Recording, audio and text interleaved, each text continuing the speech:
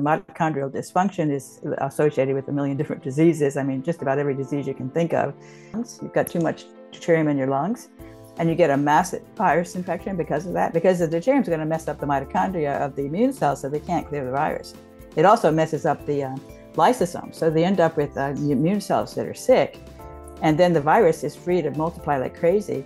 So by building this exclusion zone water layer, lining the the, uh, the gut, you're protecting, and also from even bacteria. It, it excludes everything. So the bacteria have a hard time getting in when there's that, that gel is in the way. That gel is maintained by the heparan sulfate, and the heparan sulfate is severely deficient in association with autism. So, so you can make cholesterol sulfate, which you can just throw out into the blood. If you're a, a cell in the skin, they make cholesterol sulfate in response to sunlight and then they shed it and they dump the cholesterol sulfate into the blood and the HDL particles pick it up in their membrane with a sulfate sticking out. And that makes the HDL particles negatively charged, which keeps them from glomming together. So when you have, it actually builds a gelled water layer around the lipid particle, which protects it from oxidation damage and glycation damage. I've been fascinated for a long time about why methylation pathways are so important to the biology. You know, I was puzzled by that. Why are they so important? And I believe I figured it out. And it's extremely interesting because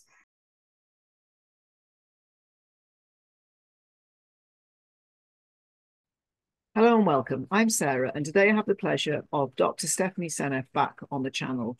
Dr. Seneff is a senior research scientist at the MIT Institute, and she's published over 350 papers on a variety of subjects. In this interview, Dr. Seneff was very generous with her time and information, and we discussed topics such as methylation pathways, deuterium, the role of the gut microbiome in producing deuterium depleted methyl groups, and other important interactions and reactions.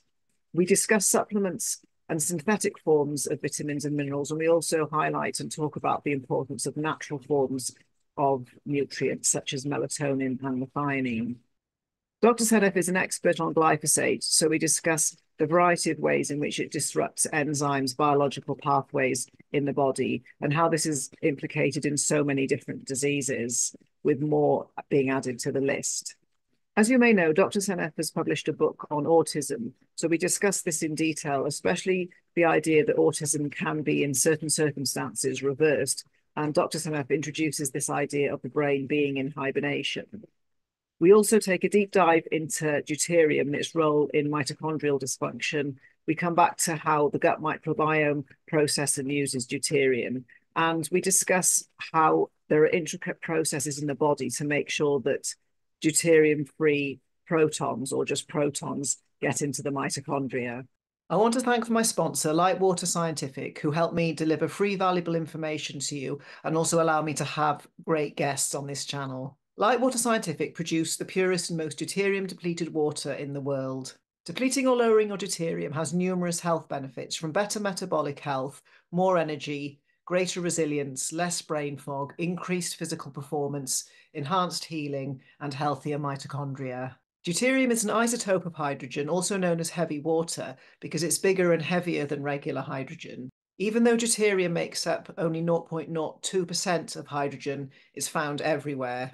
Deuterium is a burden to your body because it interferes with the intricate chemical reactions that occur by slowing them down. Deuterium is kryptonite to your mitochondria, and we need healthy mitochondria to produce energy. There's over 60 years of scientific research on the negative effects of too much deuterium on health and also the positive benefits of lowering deuterium in the body. Litewater deuterium depleted water is 100% safe and non toxic. In fact, it's the closest in structure to the metabolic water that your mitochondria produce. Litewater deuterium depleted water comes in 5 or 10 parts per million glass or plastic bottles so level up your health by leveling down your deuterium today. The purchase link is in the show notes and use code Dr. Sara for a discount off your order. Thank you for coming back, Dr. Seneff. And we just had a brief little chat that nearly turned into a podcast. So, right. so that people can understand why we're so excited about what we're going to talk about and how there's lots of new stuff. I think we ended the last podcast, we were talking about methyl groups. And then I just was chatting with you saying I'm really concerned about methylated um, sort of supplements and how methyl these deuterated methyl groups might stick to DNA. And then I'll just hand the floor over to you because it's like a massive topic that a lot of people need to learn about. Yes, it's it's truly amazing, and I'm just so excited about the research that we're doing. I'm collaborating with a great team, and we're all just we're just storming with all kinds of ideas, and each one is trying to figure out how the other one fits into their story. It's just an amazing time for us. We're having a great time with this very difficult puzzle that we're trying to figure out, and it's I'm super excited. I can't tell you how excited I am about beginning finally to understand and pull it all together, um, all of it really. I think it's um, and I will give the short answer, which is that methylation pathways are very important, as you know. Like autistic kids have, you know, defective methylation pathways. It's the B vitamins that make that happen. They're deficient, all these things.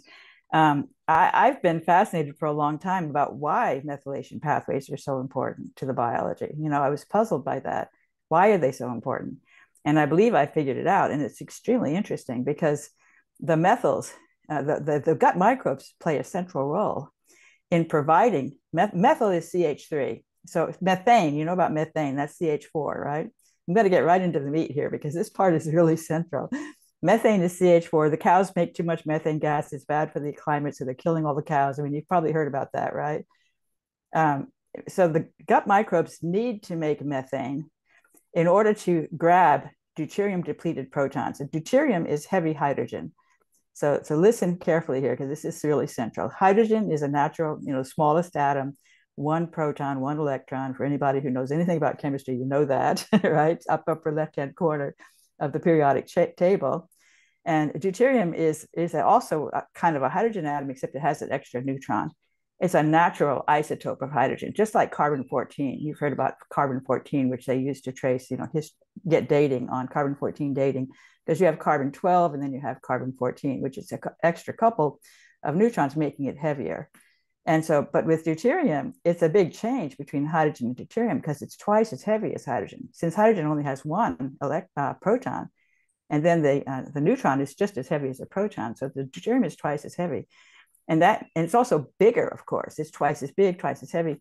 So it doesn't fit in right in all the places where hydrogen is used. And hydrogen is all over the place in, in metabolism. I mean, it's key to metabolism. Everything is about hydrogen and oxygen and exchanging those things, you know, moving these guys around, making the molecules all of that involves hydrogen. You don't ever have a reaction practically without hydrogen being involved. So it's very important. And then the thing that's really interesting is that the mitochondria, they're of course the workhorses of the body that make the, make the energy for the cell in the form of ATP.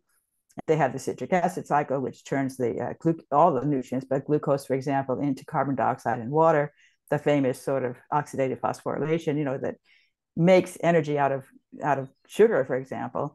Um, and also makes carbon dioxide and water in the process, right? That's sort of what the mitochondria do as their way of making the, uh, the ATP molecules that then supply energy to the cell. So super important. Mitochondrial dysfunction is uh, associated with a million different diseases. I mean, just about every disease you can think of has a correlation with mitochondrial dysfunction, meaning that the mitochondria are sick. And they're sick because they're spewing out, their evidence of them being sick is that they're spewing out these reactive oxygen species that are then going to cause DNA damage, you know, then you're going to end up with cancer eventually if that keeps up. And they're not, they're inefficient at making the ATP.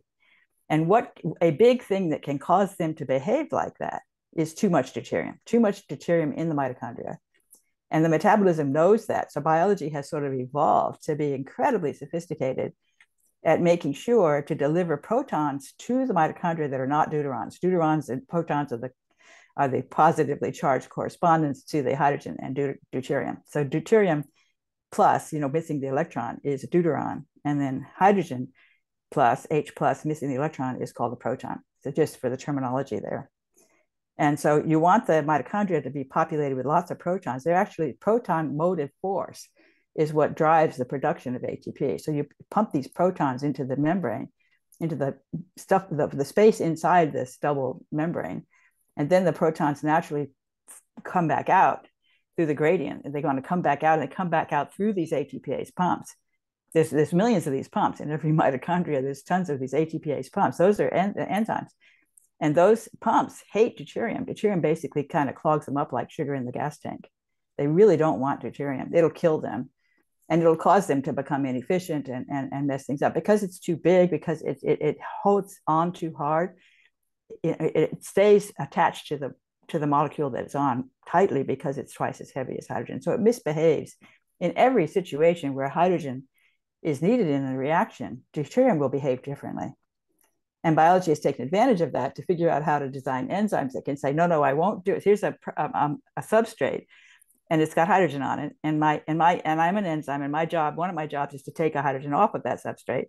And there are enzymes that will, if that, if that particular molecule has a deuterium substituting for that particular hydrogen that you want to take off, there are enzymes that won't touch it. Like that particular version of glucose, let's say, with a pro, with a deuterium there instead of hydrogen then the reaction that wants to take it off won't do it because it's uh, very skilled at only working if it's hydrogen. And that's how you can end up with products that are depleted in deuterium because all the all the original molecules that have a deuterium they won't won't react. They'll just stay what as they were. They won't react. So the, it's a very complicated system with all kinds of fascinating uh, subtopics within it that I'm just beginning to tap the, into. And it's just really fun to sort of look at all the different papers that I've read before in the context of this story about deuterium, to put that on top of it, and then to understand why it is the way it is. It's really, really interesting.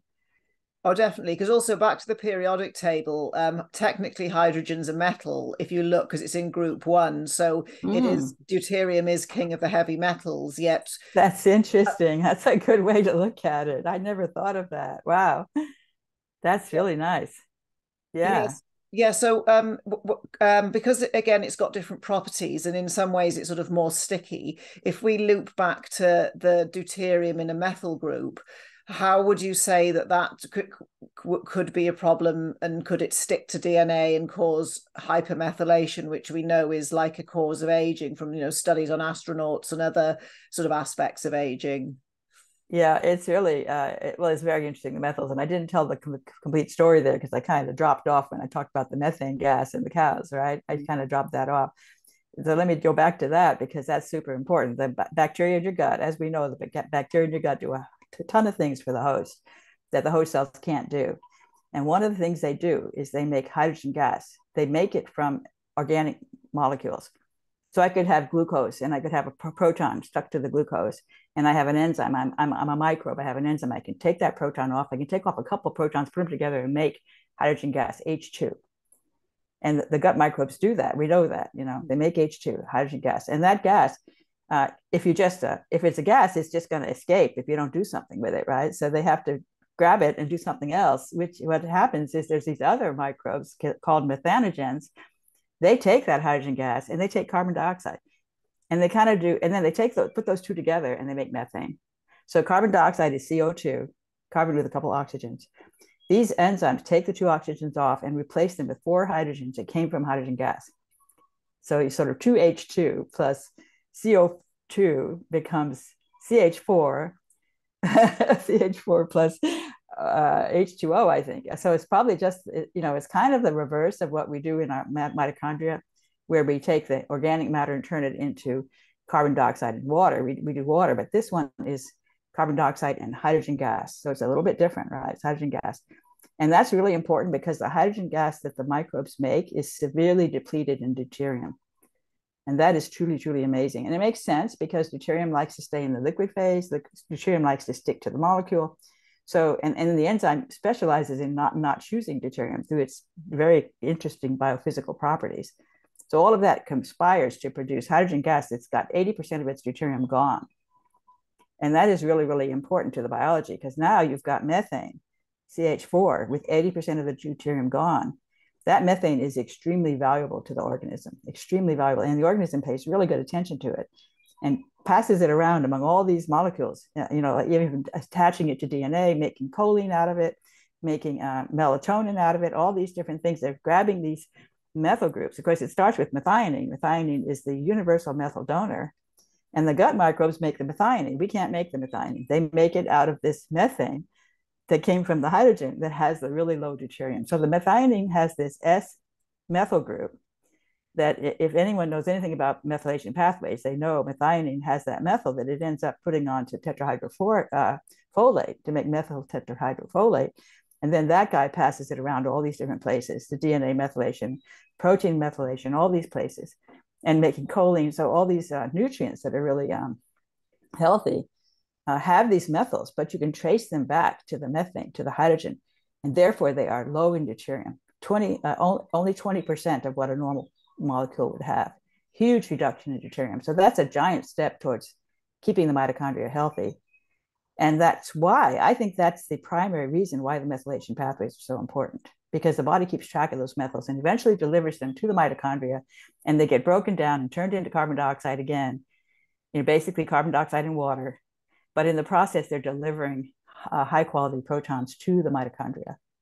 But also the good thing about this is it's um, a symbiotic system and deuterium isn't evil because something with a short life cycle like a fly or a bacterium loves deuterium uh, uh, sorry like a yeah loves deuterium like a bacterium loves deuterium because it, it, makes it grow quicker. So the bacteria use deuterium themselves because they don't their atpases work well they don't have they have something different but a deuterium actually is totally compatible with them. So nature's built in this unique system for they have the deuterium and they like it and it keeps us it away from us. Exactly. That's an extremely good point because and in fact even the viruses they trap deuterium uh, the, the uh, covid virus. Mm. Uh, traps the sars-cov-2 traps deuterium in its rna now, i think the viruses play a role in pulling deuterium out of the liquid like for example in the lungs you've got too much deuterium in your lungs and you get a massive virus infection because of that, because the deuterium is going to mess up the mitochondria of the immune cells, so they can't clear the virus.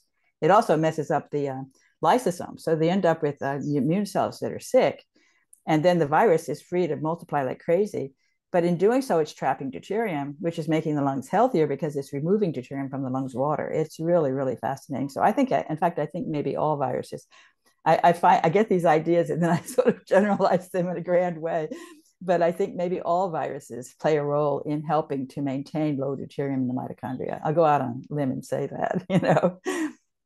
You're, that's that's really interesting because actually one way to deplete deuterium is you know when you get snotty or cough up stuff that's a very that's a deuterium depleting pathway same as any you know excreting anything like sweating or you know going to the bathroom as well. So that's right yes and as i mentioned this uh, to you earlier the salivary glands that know how to excrete water that's concentrated in deuterium so they help to remove the deuterium out of the body putting it into the gut. I mean it's you know sometimes people used to sort of spit all the time and in a way it makes sense because you're losing deuterium by spitting because the, the saliva will be more concentrated in deuterium because it came from those the work of those salivary glands to release water that's rich in deuterium.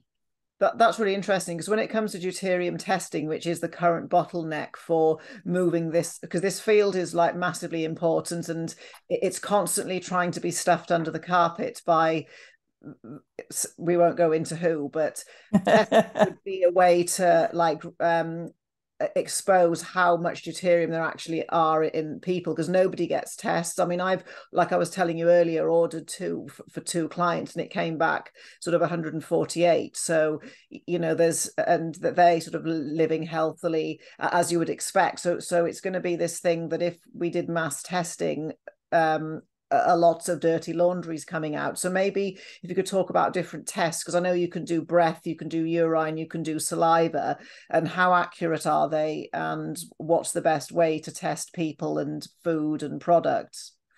Yeah, it's it's actually quite challenging, and, and uh, so what I've I've learned is that the blood, so the blood has sort of an intermediate level of deuterium in it. Breast milk has low deuterium, which is quite interesting. So when the mother's making milk for the baby, she wants to give that baby less deuterium. So breast milk is a good source. It's a good food source. Milk in general, and and butter in particular. Butter comes from butter has butyrate, and butyrate is made from two acetate molecules, and the acetates come from those methanes. Originally, you trace them back to the hydrogen gas. So they're going to be low in deuterium. Butyrate is a food that the that the colonocytes lining the colon they love butyrate. That's their favorite food, and the microbes make it for them and they make it from the roughage, for example, as well. They make it from they can make it from lots of things, but it comes if you get the two acetates, says the acetogens make acetate, and then there's other microbes that turn the acetate into butyrate. And these microbes like an acidic environment. They're acid-loving bacteria. Glyphosate raises the pH of the gut, messing them up. And so people have shown experimentally that there's low acetate and, and high pH in the gut as a consequence of glyphosate. They've done studies on rats that show that it's messing up the ability to make the acetate. and therefore to make the butyrate because butyrate needs the low pH. And when there's not enough butyrate, the gut gets sick because those uh, colonocytes are not getting a healthy fuel. So butyrate, which is in butter, is low in deuterium, and butter is a fantastic food as far as deuterium is concerned, one of the lowest in deuterium. So you can certainly improve your deuterium situation and reduce your, your deuterium exposure by eating um, fats, actually, animal-based fats in particular, are typically low in deuterium. And that is again because they come from this acetate that came from this these uh, hydrogen gas in the gut. So the gut microbes are making these really wonderful foods for the host that are derived from that hydrogen gas that starts with 80% reduction in deuterium. So they're trying to hang on to that with, and, and keep track of those particular molecules that have that low deuterium and then to funnel them into the mitochondria to keep them healthy. That's sort of a whole system of, meta- of metabolism that goes on. So did I get off track there? I think we had a question. Oh no, it's fine. Every time you say something, it just triggers another thought. Because looping back to the roughage and the fiber and foods, because obviously fruits high in deuterium, but that's sort of for a reason because it's of deuterium's a growth factor as well, mm-hmm. and then fruit obviously is uh, comes out in mating season time when animals or people evolutionarily would be gaining weight. So i can understand that. But then when it comes to vegetables and things it are they low in deuterium or high in deuterium? Because some people say onions and garlic are deuterium bombs and i think beans are but nuts aren't. So right yeah. about like other deuterium yeah. foods? I, my impression is that it's really the fats that are going to give you the low deuterium. Mm-hmm. and pretty much that's it. Like everything else is going to be either sort of average or high. And I think the sugars are high. Mm. Well, I'm not sure of that, but the fats are low, definitely low, and they're substantially lower. Like you can get, so it's 155 parts per million in seawater is sort of the standard typical level of deuterium. 155 parts per million, 155 deuterium atoms for every million hydrogen atoms. And that sounds like a really small number, but it's not because the level of deuterium in the blood is like five times as much as the level of calcium. Thinking of it as like a mineral or like a a metal, you know, you mentioned that that's in the same periodic table channel as the metals are, which is quite interesting to think of it as a metal and, and perhaps as a toxic metal. But the thing is, deuterium actually has, just like iron, it has both a good side and a bad side. Mm. And the body is able to basically separate the deuterium out. So the body concentrates the deuterium in the gelled water. And, and then it, and that results in low deuterium in the fluid water. So if you think of the blood, in the vasculature, it's it's lined with gelled water, and that gel is maintained by the collagen and all these. You know, collagen is the most common protein in the body. Something like thirty percent of our proteins are collagen molecules, and collagen lasts a long time. Typically, it's pretty sturdy, and collagen um, makes it the collagen network with the with these sulfates. You know, there's sort of this whole complicated sugars, the heparan sulfate sugars that are attached that whole network makes jello basically makes jello. Like you know jello has a lot of uh, fragments of collagen. That's what makes it when you put the jello powder into the water and you let it freeze and it gets really hard that's mostly water but it's very stiff. So it's almost i call it liquid ice. Gelled water is, is like liquid ice. And interestingly ice traps deuterium. So when the when you get the glacier melt that's a low deuterium source of water. So people sell glacier water on the on the web and I think the health of glacier water is, is related to the fact that the deuterium levels are low. They can be as low as 90 parts per million compared to 155 in seawater. So that's a big difference. So one way to get low deuterium would be to drink. Uh, this actually is deuterium depleted water right here. so I yeah. drink it every you day. Can, you can make um, deuterium depleted water like I do sometimes. Like you freeze it, throw away the ice, and keep the water, and just keep doing it. But nobody exactly. I think that that's said it's like two to five percent you can lose with each freeze well freezing cycle. Might have, yes. to, might have to do it 10 times. It's a lot of you have to have a lot of patience to make the water that way. And of course you can buy this Litewater product which is what i do. Yeah. Uh, it's very expensive to make and, and very expensive to buy. It feels crazy you know spending on water what you would spend on a good wine you know it's really very expensive water. I consider it to be worth it. So i've been taking Litewater for many for a long time years actually so um, I really believe in it. And um, it, it's a way to get a low deuterium source. But on the other hand, it's not necessarily the case that, uh, well, I guess the levels of deuterium on the earth have actually been going up, I believe, over time. So you could say that we're getting more poisoned by it. But, but deuterium has a good side because it goes into these the gelled water and it actually makes the gel stiffer. So it, it helps to make the gelled water, which is which is good stuff. Like most of our body is gel. Uh, the water, we have a lot of water in our body. Most of it is gelled water. We have to do this tricky thing to keep the blood flowing because you don't want to gel the blood, right? If you gel the entire blood, you're going to shut down your circulation. So there's lots of intricacies that go into managing the blood to keep a gel along the surface of the blood vessel, but then to still allow the free flowing water to go inside the blood vessel. It's a tricky thing to do. And that's something that biology has figured out, of course, because it's figured out everything. it knows how to, it's constantly titrating the, the blood. And it actually, I think it's using nitrate and sulfate back and forth. It's got intricate um, procedures to do signaling to say, oh, I need nitrate, oh, I need sulfate because nitrate will make the water flow freely. The, these, these are things called chaotropes and co- kosmotropes. They're part of the Hofmeister series. This is a whole bi- biophysics thing. Oh yes, um, I used to use those. I used to do protein folding. So um, sulfate's um, uh, a kosmotrope, and urea is a K, yeah, a chaotrope. Exactly, exactly. Yes, and urea, of course, has a lot of nitrogen. So nitrates, nitrate is a chaotrope, and sulfate is a kosmotrope. Kosmotropes gel the water. Nit, uh, Chaotropes make the water soft, you know, and fluid. And, and the endothelial cells lining the blood vessels are constantly watching to see how the blood's flowing. And they can tell that from the electromagnetic signal that's created by the red blood cells as they go by, because the red blood cells are negatively charged particles in an electric field. They send out a signal, an electromagnetic signal that the endothelial cells can receive and act on. And it's really fascinating because when the red blood cells are moving fast, that says, oh, yeah, we got plenty of fluid, no problem we don't need more nitrate. We need we need sulfate maybe to slow it down a bit. You know, so you're constantly going back and forth between the sulfate and the nitrate, and the endothelial cells know how to watch that signal and then know how to react to keep all the blood everywhere in the body circulating properly with the right viscosity.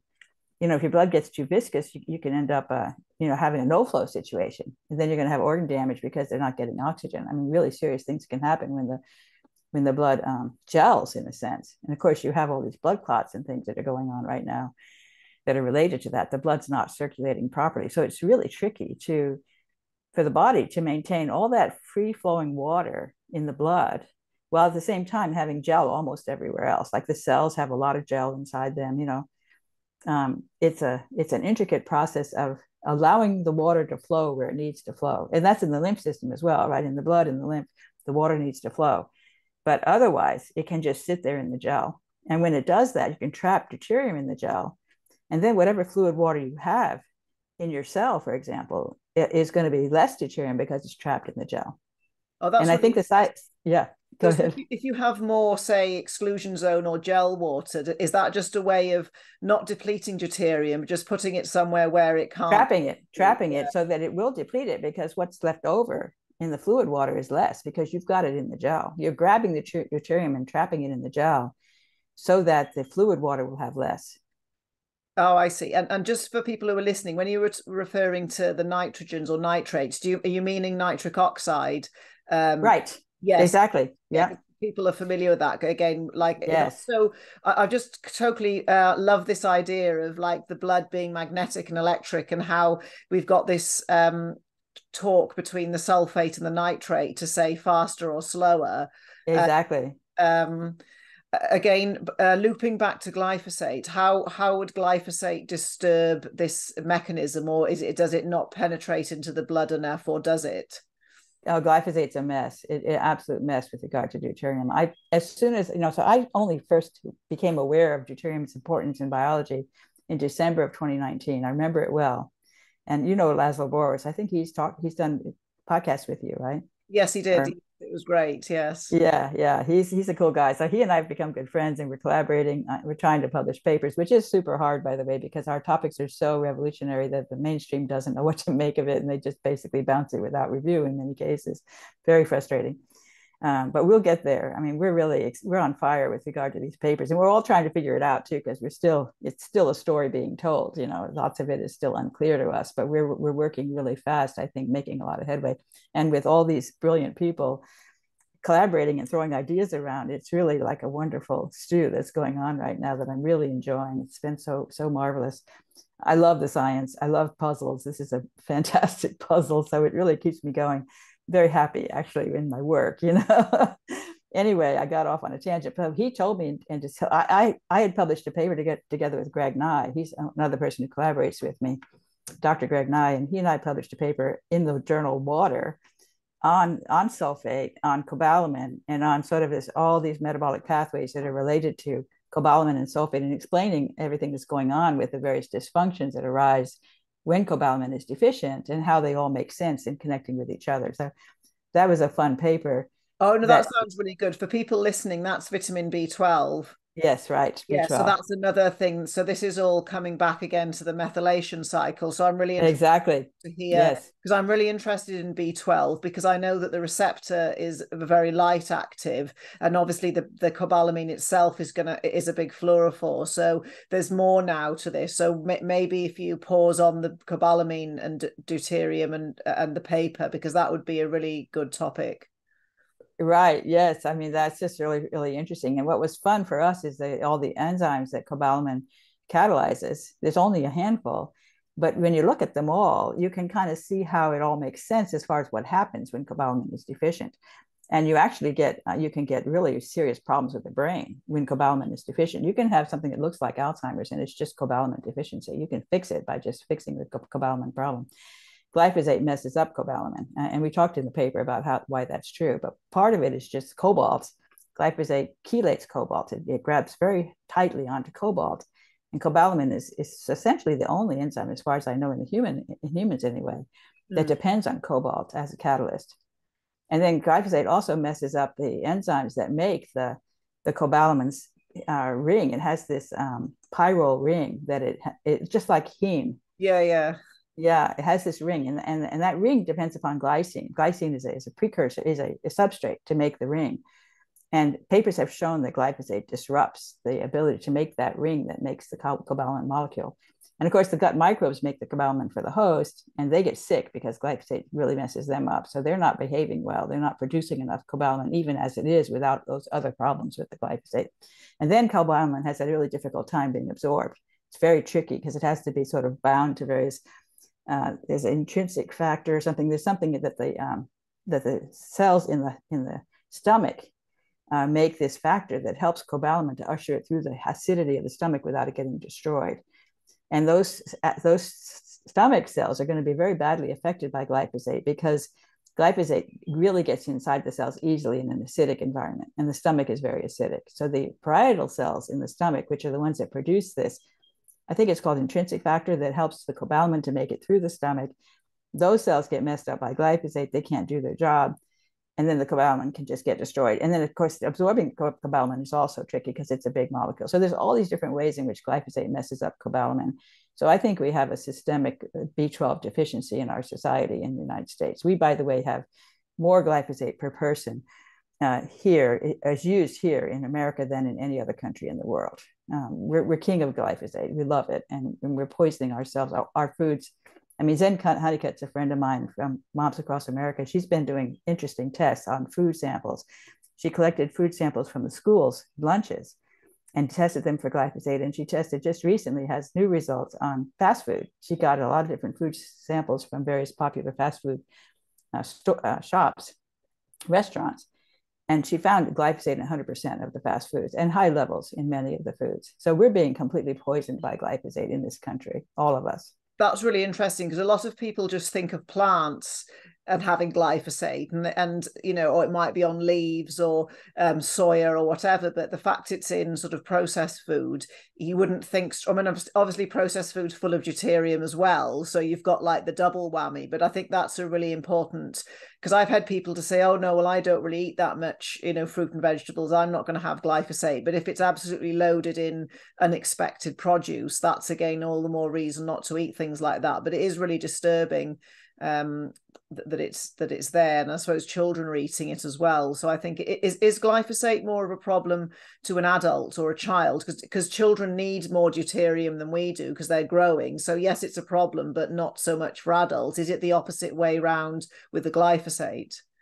Glyphosate is really hard on the children. I think it's the primary cause of the autism epidemic in this country. I'm almost certain that i'm right at this point. I've been looking at that for a long long time. I have my book toxic legacy. I'll hold it up here Oh no, we... it's really the book's really good. It, it's. I, have read it uh, uh, uh, before, so there's good chapters in it, and and it's actually it's very layperson friendly as well.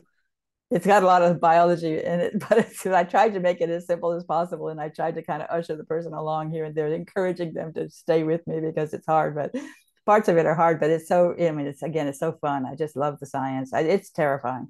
I mean, I think if we keep it up with the glyphosate, we're gonna um, I think we're going to fail to reproduce at some point. We're going to basically shrink to zero if we keep it up like this. We have to change our food system if we plan to have, if humans plan to be alive on this earth in a thousand years. We have to do something. I really believe that we're we're losing on fertility big time already, as you probably know. Sperm are sick, and women have uh, uh, polycystic ovary syndrome, PCOS. That's one that's caused by glyphosate. That's associated. That's the biggest problem with uh, infertility in women and, and glyphosate causes that. So, I mean, we've got, and of course, the kids are all getting autism. Even in utero, they're already starting to, their brain's not developing correctly because their mother's being poisoned with glyphosate. And then the kids continue to get lots of glyphosate. A lot of them eat a lot of junk food. They're getting lots of glyphosate. And it's, it's very clear to me how glyphosate causes autism. I write a lot about that in my book. Very clear. I have no, no doubt. Uh, you say because because I think because what you said about autism developing in the womb uh, is one really interesting aspect I've not heard because I've heard lots of different other ideas about uh, you know immunization protocols and um, all sorts of other toxic factors. But if it actually starts before the baby's born, is there? Well, the mother is getting vaccines as well, right? In, yeah. During pregnancy, that's going to contribute. I is mean, I do think that, that they even allowed. Oh, absolutely. America is very fond of giving flu shots to, to, to, pregnant women. It's absolutely shocking to me that they think that's a good idea. Even the COVID vaccine to, to pregnant women, no problem. I mean, I'm just stunned that we're okay with that. I'm just stunned. I don't understand what's wrong with our government that they think these things are okay. So I will But do, do you think um, that say if somebody did have children who were autistic, how how far can you go to cure? Well, sort of resolve it. Um, is it too late, or are there things that you can do to rescue any of what's happened, or is it something that um, you can't? That is an excellent question, and that's a question I had been asking for many years because I, I, I wanted to know and I didn't know: is it possible to reverse autism? That's the question. Is the brain permanently damaged? Or is it in some kind of hibernation state that it could actually recover mm-hmm. from? That's the big question right? Yeah that's, and that's a hard that's a hard question to answer but i think the answer is yes it can fully recover because i know people who have fully recovered from autism. It is so beautiful to see. I was so thrilled the first time i met a young woman. She was my 18 year old uh, teenager and her mother they were at a, at a, conference that i was at and they talked to me in private you know um, during the breaks and and this she was lovely this 18 year old girl. She seemed perfectly healthy. She had been diagnosed with autism back when she was like six years old and her mother had put her on an organic diet of course stopped all the vaccines and um, did some other supplements you know the methylation pathways she basically cured her autism which was just so fantastic for me to see because that was sort of the first example that i met you know face to face very impressive. And i've heard other people say um, you know autism and people who treat autistic kids have been able to you know maybe it's most of the symptoms are, are relieved but they might be a little quirky or something like that but i think even completely reversed is possible. And i think that's a wonderful thing to know because you should never give up if you have an autistic child Oh, that's what up. I was getting to. Because say if somebody um, uh, gave birth to a child with Chap Down syndrome, at least you know you can't do anything. You can't reverse that, so you accept it. Whereas with autism, I have friends and who who spending thousands or hundreds of thousands of dollars trying to fix it, and and and, and that's why I asked it because it might just be.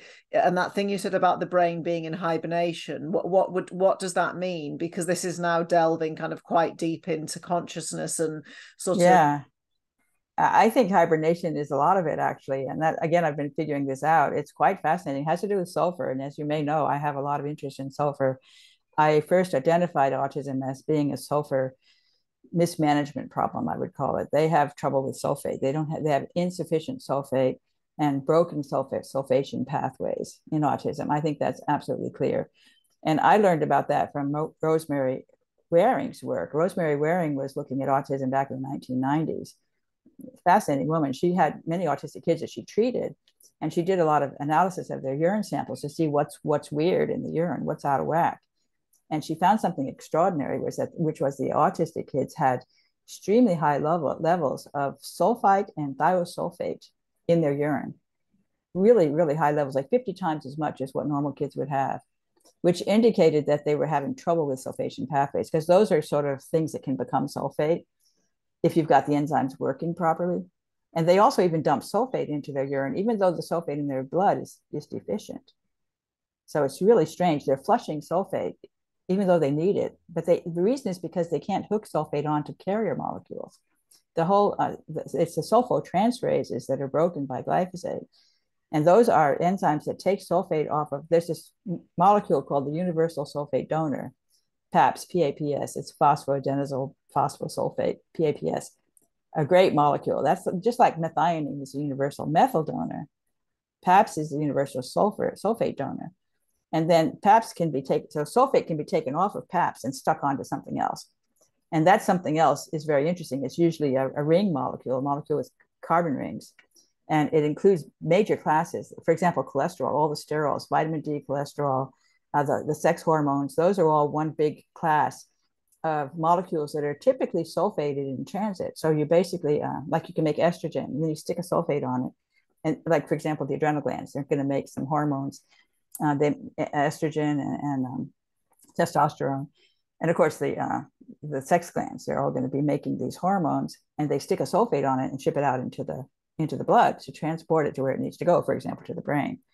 And so the transport system for these ring molecules, they're, they're typically fat soluble and putting sulfate on them makes them water soluble. And that then you can just throw them out into the blood and let them go, including cholesterol. So you can make cholesterol sulfate, which you can just throw out into the blood. If you're a, cell in the skin, they make cholesterol sulfate in response to sunlight.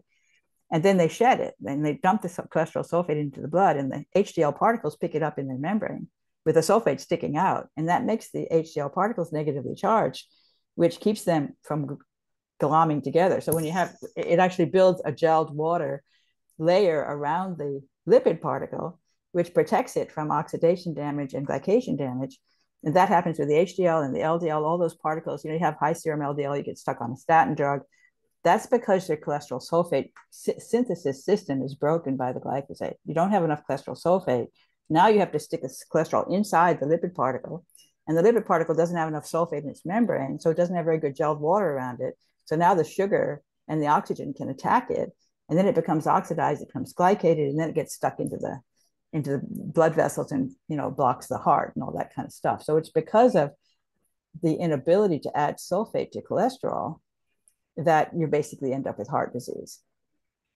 Oh yeah, definitely. And also that just reminds me of something about we know when people get lab test results and they've got super low HDL and it can indicate leaky gut it, uh, how, how, does the HDL uh, link back into the gut and and th- that um, this marker marker how does HDL relate to the gut because I know you talked about it before the gut yeah well so it's just going to be that the HDL is um the, the liver can't make the HDL if it doesn't have enough sulfate it's a sulfate deficiency problem that's driving all of this the gut becomes unhealthy when there's not enough sulfate because the gut makes sulfated heparan sulfate in the gut it lines all the gut and keeps it secure from heparan sulfate builds this sort of exclusion zone water that's uh, that's the gelled water that I talked about earlier in the gut. It's very important to have that gelled water in, on the interior of the gut to protect the colonocytes, for example, from again from oxidative and glycation damage.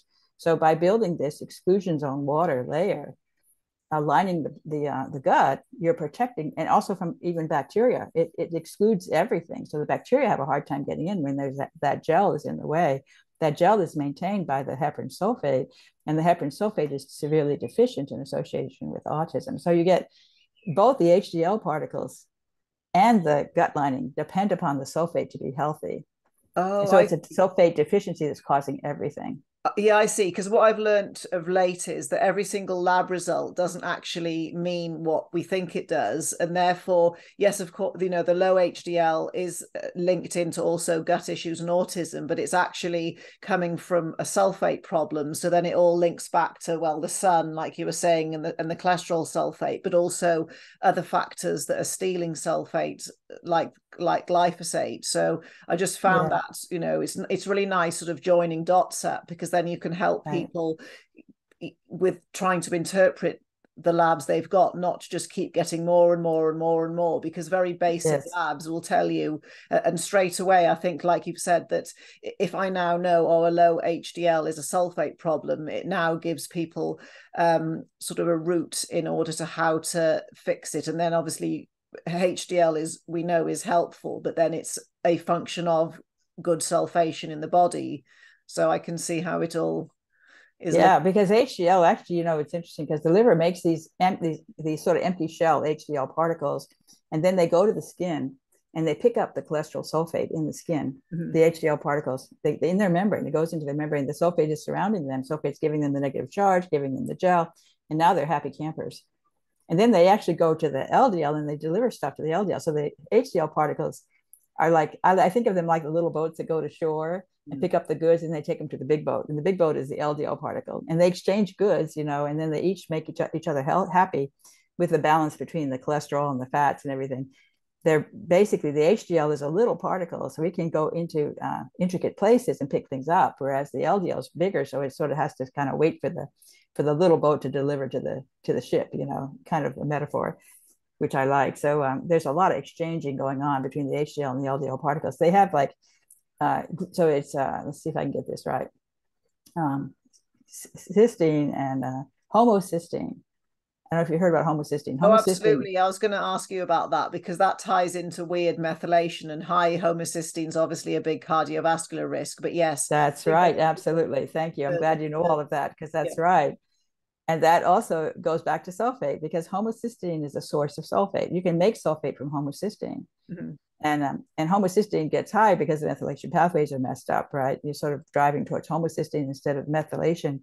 Um, the, it, it's this whole network of, of the sulfur containing amino acids that are sort of working among themselves doing different things. But the high homocysteine is, a, I think, a definite indicator of sulfate deficiency.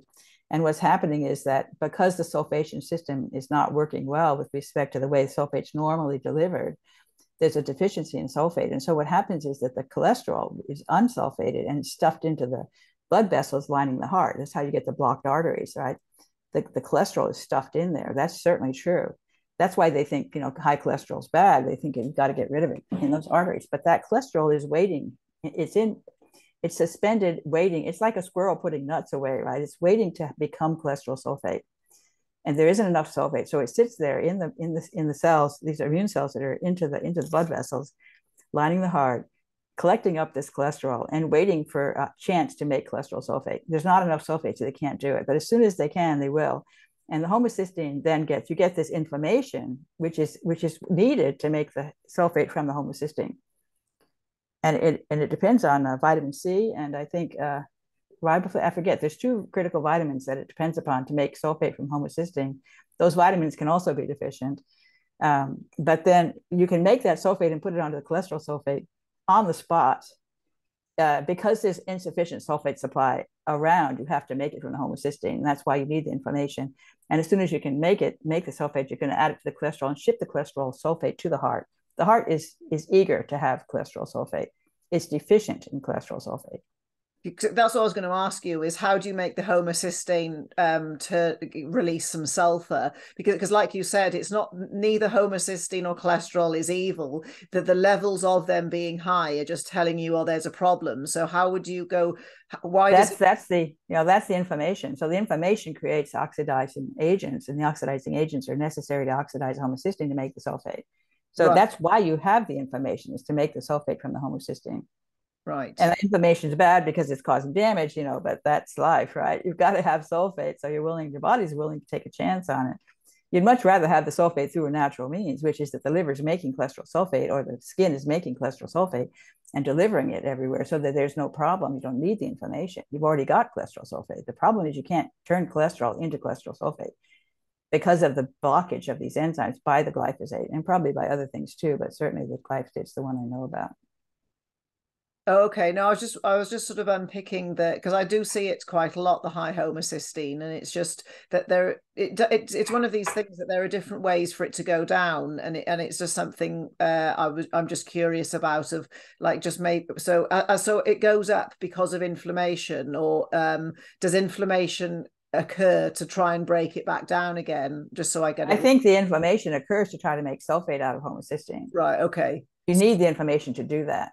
So, the, so the homocysteine got high first, and then the inflammation came later. Yeah. So that comes back to the methyl groups and the methionine cycle because they're obviously tied to homocysteine as well. Yes. In fact, I believe, if I'm going to get this right, homocysteine substitutes in um, in in the uh, protein synthesis for methionine, I believe, when methionine is deficient which is really interesting. And then it gets removed. There's processes that are able to repair that, but they make homocysteine thiolactone, which is a modified version of homocysteine. And that's the one that more easily can become sulfate. And that's the one that accumulates to cause um, to be an alarm signal for, for problems with um, heart disease, homocysteine thiolactone, which is a consequence of homocysteine, homocysteine going into the protein instead of methionine, just like glyphosate goes into the protein instead of glycine homocysteine is like a, um, an amino acid analog of methionine. I think that's right. Um, yeah, definitely. Then, that, that, would be really terrible because methionine and tryptophan, the start and stop codons, sort of are timers, as in exactly. Crystal. Yes this is all leading into how cell cycle timing is now going to go off and how having the wrong amino acid in a protein is again affecting this timing mechanism so that's like really fascinating but but i didn't know you could uh, substitute back out again or does the body just well it's a modification that happens um yeah. i'm trying to think who's the name of this guy uh i'm sorry that i forgot his name but there was a person that i collaborated i, I talked to through email for some time who um who was all into this. He's written several papers on homocysteine, homocysteine thiolactone, and this whole issue of the sulfate. He's done all of that. I've used his papers as a reference. Um, keep hoping I'll get his name, but I'm not good with names. But sometimes they pop in because I, you know. Anyway, um, so uh, where was I? The homocysteine. So it's very interesting because methionine being deficient uh, causes the homocysteine to take place, take methionine's place in the process of making the protein. And then there's mechanisms that actually recognize that that has happened. And then those mechanisms actually replace the homocysteine, sort of fix the problem, mm-hmm. but they end up with homocysteine thiolactone. And that's the one that becomes a signaling molecule that says, hey guys, we've got trouble because methionine must be deficient since the homocysteine has substituted. It's an indicator. It's an indirect indicator that methionine is deficient. And methionine is going to be deficient because all that stuff that the gut microbes do to make the methionine is broken by glyphosate. I mean, in fact, it's been shown experimentally that glyphosate suppresses methionine synthesis by microbes and in plants.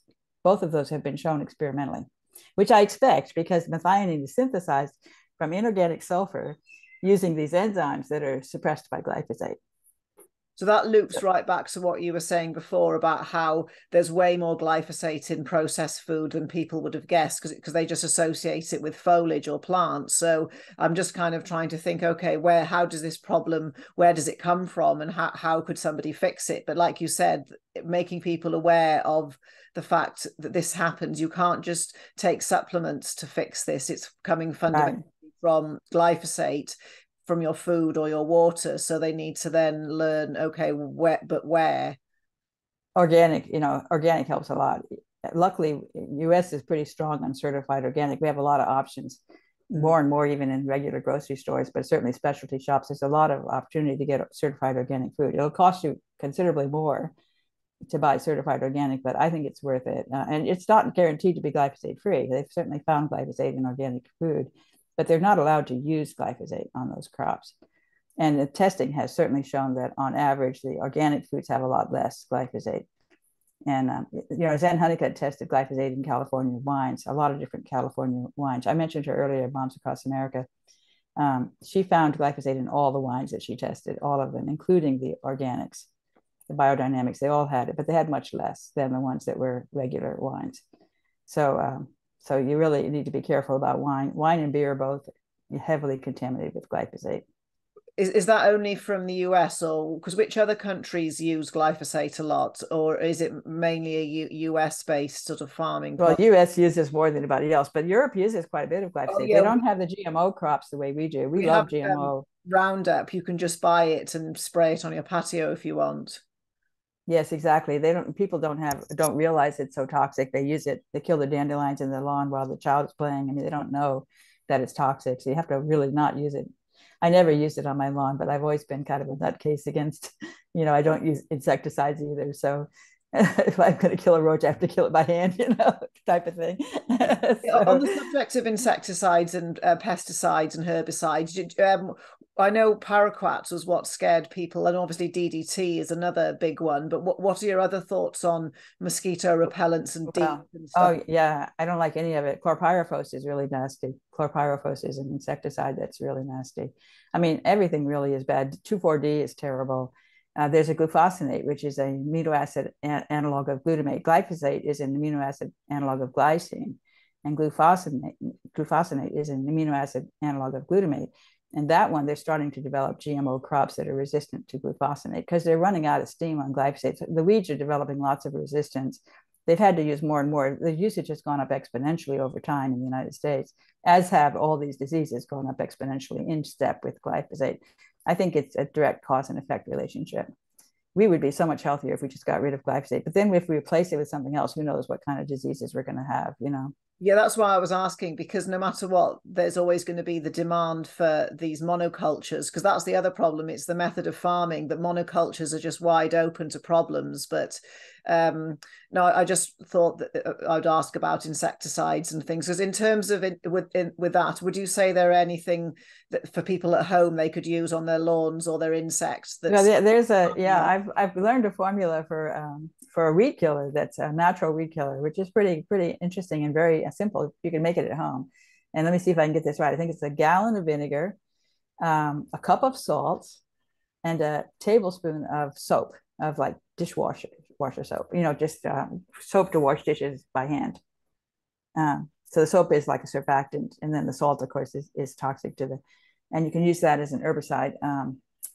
Uh, uh, to control weeds. Uh, I personally always just pulled them out by hand. yeah. I like to exercise my muscles anyway, so it's kind of it's therapeutic, right? You're out there in the yard. I used to pull my dandelions, but I now have people help me with that sort of thing. But I used to pull my dandelions out by hand in my yard to get rid of them. You know, I never used any chemicals on my yard my whole life because you can you can eat the dandelions as well because people use they're they're a healthy food but of course they're usually highly contaminated with glyphosate because they're being poisoned by intentionally added. Yeah they're, they're actually really good for renewing the soil as well. Dandelions all those weeds you know they're really healthy plants for fixing things that they can like marijuana too you know, um, uh, what's it called? Um, weed yes. is also a really good um, crop for rejuvenating the soil Oh yeah, that's that's another thing. I suppose um, this on the subject of marijuana. I, do people use um, glyphosate and all sorts in, in commercial? Because I know in some states it's. I'm really worried about that. To use glyphosate to control the weeds around the marijuana plants, right? Yeah. I suspect. I, I don't. I haven't done enough research to be sure, but I'm pretty sure. I remember a, a news item that I saw. I think it was a 60 Minutes segment on um, this whole big booming marijuana business in California and people would just nuke everything um, that was there in their yard to get a space to be able to plant the marijuana plants and that was causing a lot of poisoning of they would nuke it with glyphosate uh, to kill off everything with glyphosate start fresh and then plant the marijuana and and dump the glyphosate into the river waterways to cause toxic effects and that was that it was a 60 minutes uh, episode on that on that topic. That you know because marijuana has become a big product now because it's becoming legalized everywhere. I suspect that it's uh, most of that marijuana i'm guessing would be contaminated. I don't know i don't know for sure. I mean i haven't measured anything but i'm suspecting. But i think anytime you're going to grow something uh, with plants close together in in under artificial lights in large quantities you're going to have problems. I know there's a, a cannabis fly that is a problem. There's all sorts of things. So no matter what that you can't just let it grow naturally because you're going to have some kind of pest coming in. So yeah, I think it's like you say, the, the the farming is the issue, and like, and if we invent a new herbicide, it'll probably be just as bad as glyphosate, but just different. I know there's that worry, although I think glyphosate is uniquely toxic and also insidiously and cumulatively. These are, are features of glyphosate. Glyphosate has a unique mechanism of, of toxicity that nothing else has, as far as I can tell. And that is its ability to substitute for glycine during protein synthesis. This is a theory of mine I talk a lot about it in my book. I think the evidence is overwhelming, even from Monsanto's own studies. I think the evidence is overwhelming that this is happening.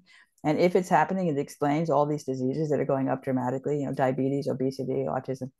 uh, cancer, all these things that are going up exactly in step with the rise in glyphosate usage, I can figure out exactly which proteins in many cases would be problematic to cause that disease. And, and you basically connect all the dots from, you know, different sources of information but also, um, deuterium is implicated in diabetes. So, if glyphosate and deuterium go hand in hand with people, it would make sense. And it's probably the synergy of the two together that's even worse. And then again, with a collagen in the body, that's like a fascinating structure because it makes electrons and structured water. And uh, deuterium's supposed to go in the collagen, it's allowed there. But then I think when you start disrupting your collagen with, um, glyphosate you, you're really asking for trouble because it's you can raise your redox potential by moving so it's like no matter what we do we know we want to do to improve our health something comes along to spoil it so even the people i know it's so hard it's so hard to avoid all the yeah. landmines in today's world collagen is very interesting in fact i've gotten extremely keenly interested in proline uh, you mm. probably know something about proline um, yes, about hairpin loops and um, pr- uh, uh and beta sheets. Yes. Yeah, so so collagen has a beautiful structure. This sort yeah. of uh, quite you know triple helix structure that's really beautiful, and glyp and it has a lot of glycine. Collagen has lots of glycine and lots of proline, way out of whack with the other proteins. Very uh, interesting. It's a very different kind of protein from everything else. You know, lots of glycine, lots of proline. And um, glycine is critical in collagen. Like there are people who have mutations, just a single glycine got mutated to something else, and then their collagen is working terribly glyphosate is going to go in there and substitute for those glycines and mess up the triple helix and mess up collagen's beautiful properties and cause a lot of trouble with the joints and the bones. That's why we have so many issues with those those kinds of problems. You know, hip replacement therapy and knee surgery, all these things that are happening to people, their bones are really in bad shape because the collagen's getting contaminated with glyphosate. It's going into the collagen molecule. But they're really cool to do with the yeah, helices to do the turns you need the prolines and the glycines for the flex exactly. you need them for flexibility as well. So uh, yes they're critical for the molecule to perform correctly. And now proline is extremely interesting and we don't have the whole story yet but this team of people including laszlo and myself and other really smart people they're working on proline because proline is the only amino acid that's able to secure deuterium when it gets a deuterium into the proline, it stays. It's very hard to get it out. It's so fascinating. I found a paper from 1943 during World War II when they were developing um, the atom bomb. They were they learned how to make deuterium-rich water to, to, for the atom bomb, and there was a, a, a thesis, a PhD thesis, 1943, um, that talked about um, deuterium being able. I mean, not uh, proline as the only amino acid that's able to trap deuterium. It'll when it gets a deuterium because it's a constant exchange between hydrogen and deuterium among different molecules in, Does in it depend on its neighbor though? In a, are you meaning in a 3D protein structure of proline? Because I know it can form sharp turns. Is it trapping it with, in conjunction with other amino acids or just a proline by itself? Free- probably in the collagen molecule itself. Yeah. I think it's actually the protein itself that is in. So various proteins, collagen is a good example. Yeah. Um, they're they're hanging out, and then they will periodically pick. And then what? There's this enzyme. Uh, there's an absolutely fascinating enzyme that's an isomerase that switches proline back and forth between two different ways. It, proline has uh, two different. Oh, oh the hydroxyproline. Well, there's that too. And I, am still working on the science to figure all this out because proline can get converted to hydroxyproline. My guess is that that enzyme uh, is going to have is going to refuse to take it to, to react if there's a deuterium where it wants to pull off the hydrogen. That's my guess that hy- proline. So the co- collagen actually starts with proline and changes it into hydroxyproline with this enzyme, but that enzyme won't change any of the proline molecules that have deuterium there. And then the proline can exchange. There's and then enzymes that encourage this isomerases can it can encourage proline to switch back and forth between these two. It's a symmetry uh, issue. You know, you can it's the same exact molecules attached to the same exact. It, the whole molecule is the same molecules in the sense that everything is attached to the same place, but there's a swap uh, in the organization of the 3D structure, which causes a kink. So it, it can either be a straight line for the protein to mess up the protein the way it shapes. Mm-hmm and uh, absolutely fascinating. And then so proline can, so this enzyme can make proline freely exchange hydrogen with the water uh, through this back and forth.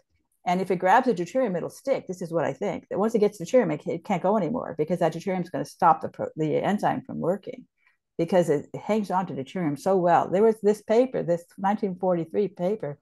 They said they took, they made proline with lots of deuterium in it, and then they soaked it in, in hydrochloric acid for a long time. Like that, hydrochloric acid is a way to break down proteins, right?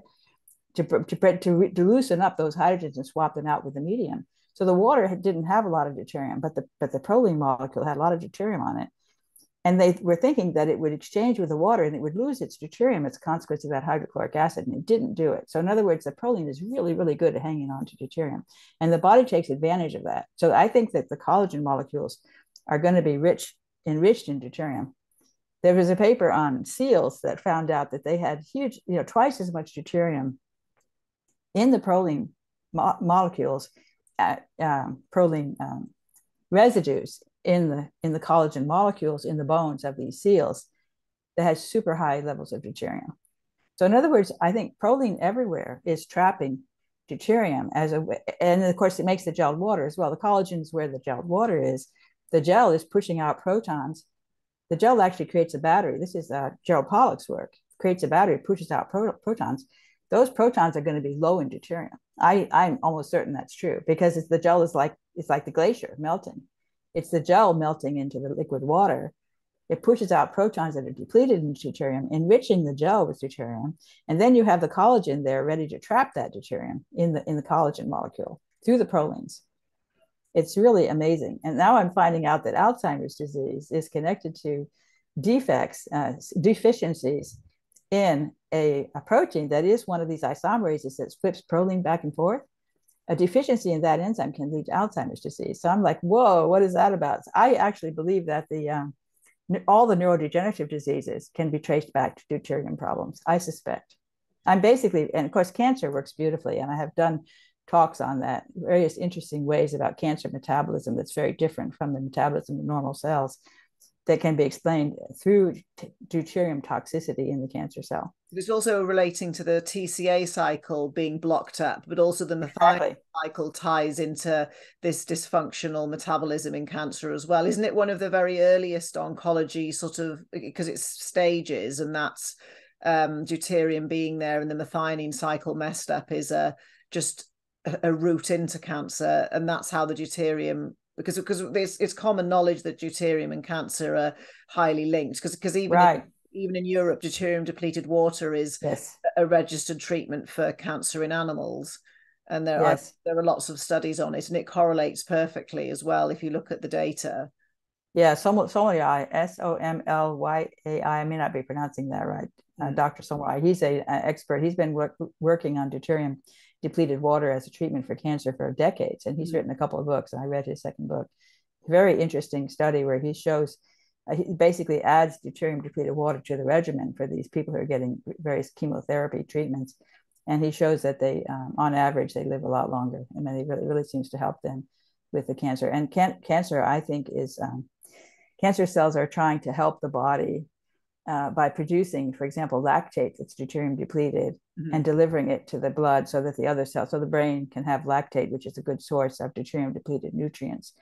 Lact- of course, lactate, lactose and milk. So lactate is um, a dairy product and it's going to be low in deuterium. I, mean, I, can see why it's low based on how it's made.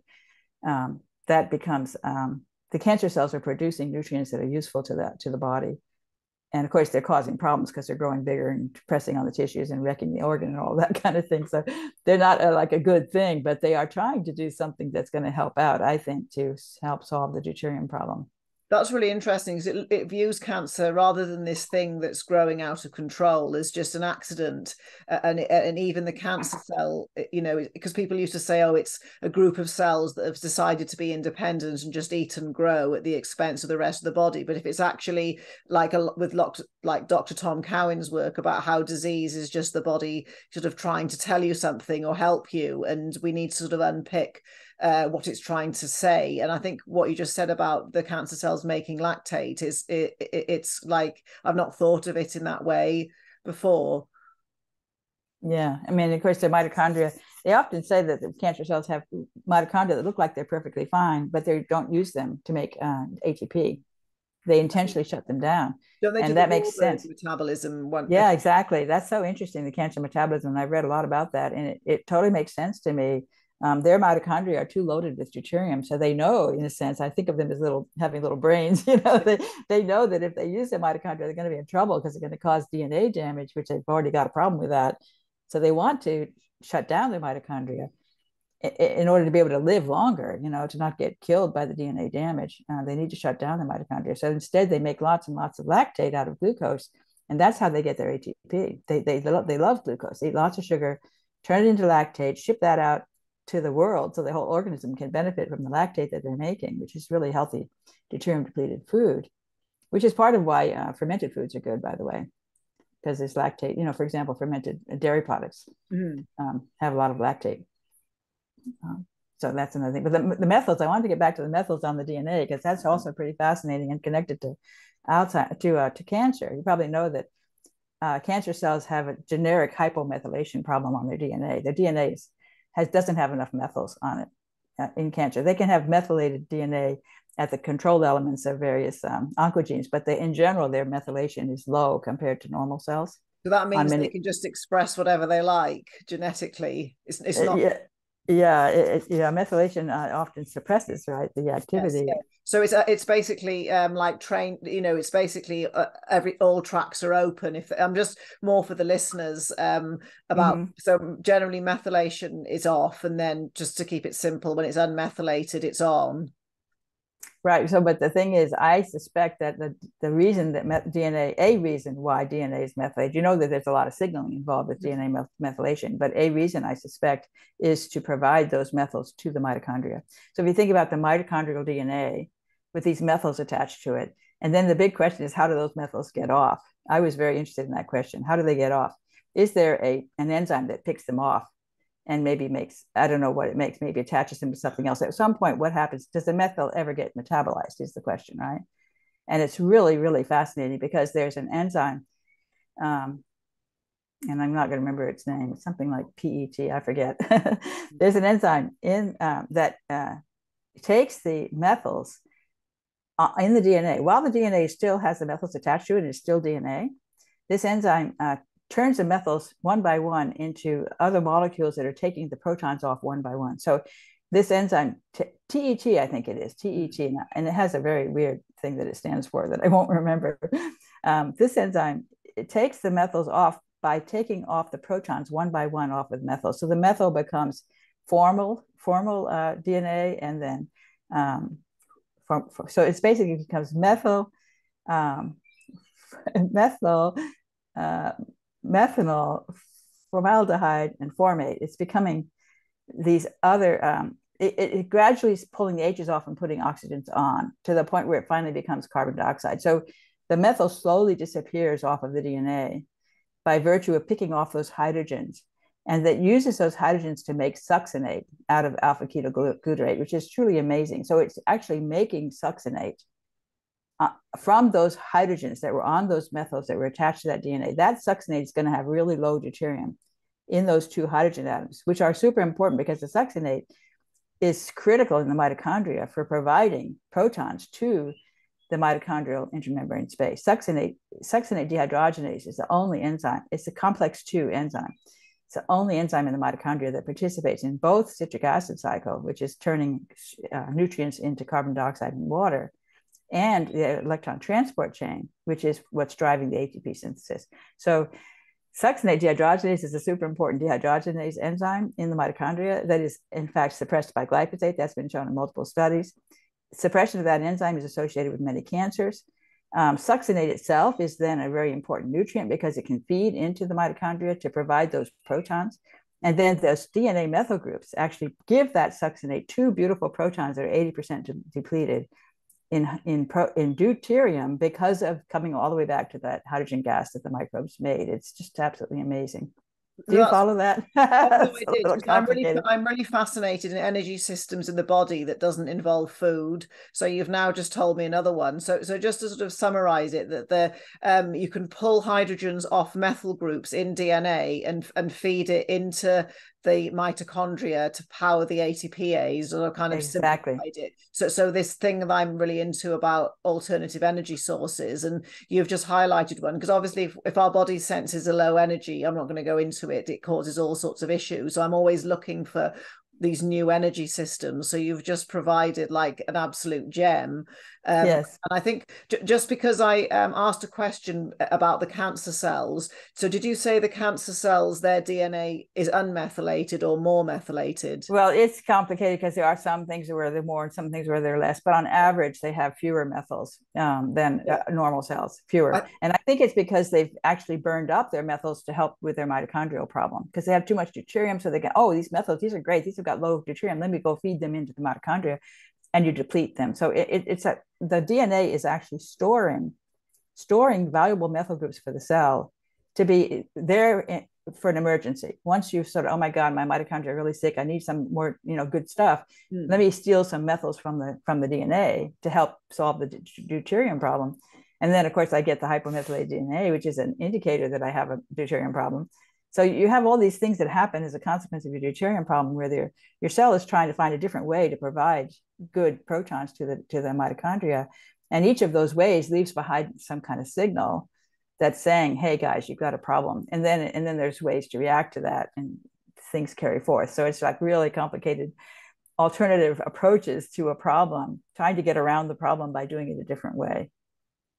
Yeah, but I think that's one of the most interesting things I've heard for weeks about pulling hydrogen off methyl groups in DNA to put into the mitochondria because I'm always interested in you know where does the body get extra electrons from and where does it steal protons or not steal or get them from? Because like deuterium and, and electrons and um, protons are what makes the world go round. So it, there's more there's much more to this story I'd imagine as well but I think yes, it's really interesting. And I wanted to say something about supplements too, because the methyl groups, there are many valuable supplements that have methyl groups on them.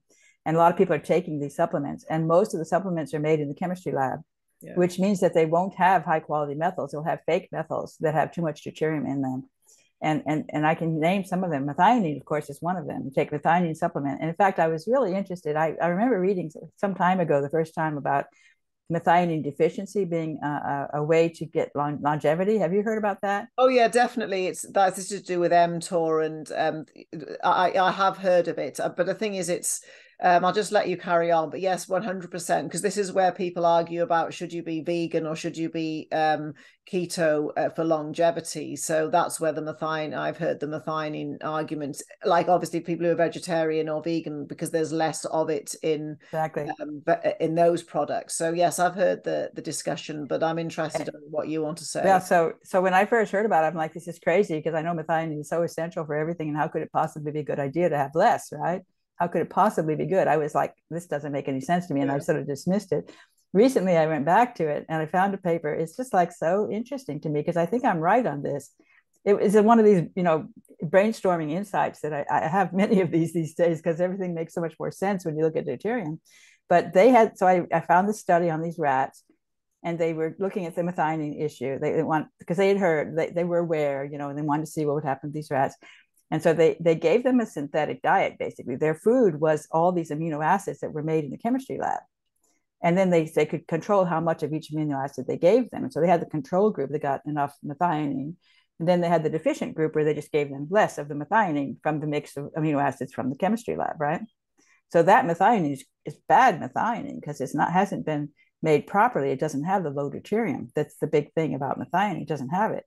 So when they gave them less methionine, what I think happened was that their microbes had to take over to make methionine because it was deficient. They were driven to make it and they made it a good way. They got the hydrogen gas and turned it into methane and made the methionine. They had good methionine that had the methyl groups that were healthy, whereas the methionine they're getting from the external source is, is bad stuff. So the methyl groups were being populated throughout all the mitochondria of these um, of these rats with this high deuterium in it because of this methionine source. And that was causing them to age faster. The ones that were getting the methionine, they were basically getting a toxic form of methionine. Whereas the ones that had were deficient, they were able to make it to make up for the deficiency by making it in, in, in the gut microbiome. And then this paper showed specifically mitochondrial problems, mitochondrial oxidative damage, you know, they showed mitochondrial dysfunction, they showed exactly what you would expect with too much deuterium in the mitochondria happening to the, the, um, the rats that had too much methionine. They got external source of methionine. They populated their, their DNA with these bad methyls that had lots of deuterium in them, and they wrecked their mitochondria. So I think that's the answer. I, I was really puzzled when I first read that. You just can't imagine that a deficiency in the essential amino acid would be a good idea, you know? I know, but, but you also, force microbes to make it one bad study people can then um, take it and, and, it goes viral on social media and then people believe it whereas if you unpick it saying that this is not based on an observation. We've engineered an experiment and we've engineered amino acids to give to something. So therefore, it's our, our, results are a product of us engineering it. And if you just leave your body alone, like the rats that didn't have the methionine given to them, they had to make it themselves. And if we can make it, we shouldn't take it. So exactly, yes, it, it, it's always you have to like a lot of these studies are you have to like read in massive detail and sort of think out out of the box to unpick them but that that but makes... the studies the studies never pay any attention to the fact that it's synthetic instead of natural they have no clue that that's a problem they don't even know that that should be something they should be worried about. And in order to do this study they had to give them synthetics because they had to be able to control how much methionine they got. So they were getting their amino acids from these synthetic products. All of their amino acids were messed up because i think a lot of them have low deuterium when they're made naturally you know? And so I, I, just think i've seen many papers where they talk about fats and different kinds of fats and what kind of problems they have. And they need to look at how much glyphosate is in those fats in order to figure out how how good they are for the person or not because nobody looks at how much glyphosate there is but you could have two fats that you study one of them has a lot of glyphosate the other one doesn't the one that's going to win is the one without the glyphosate but it's not because of the fat itself that's the problem it's it's the glyphosate so they're really messing up all these experiments they get contradictory results in different studies because they're not paying attention to how much glyphosate is in it. That's the whole, that's the big issue with these foods. And they're not, they're ignoring it. So all these studies are bogus, you know. But with the with the supplements, you've got, for example, choline. Right? Choline is something people think they should take as a supplement. It's another one of those things that's animal-based foods, right? Animal-based foods have a lot of choline. Take choline bitartrate, but you can get phosphatidylcholine from lecithins, but I think they're all right. Do you meaning choline as in right? As long as it's natural, as long yeah. as it's natural. But if it's synthetically made, don't take it because it, choline has three methyls and they come from methionine.